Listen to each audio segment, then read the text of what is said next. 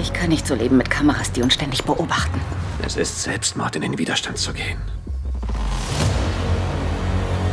Du musst an deine Kinder denken. Genau das mache ich. Du musst Los Angeles verlassen, verstehst du? Wer immer hinter diesem Angriff steckt, weiß genau, was er tut. Was ist mit uns? Wir müssen zusammenhalten, nur so können wir überleben.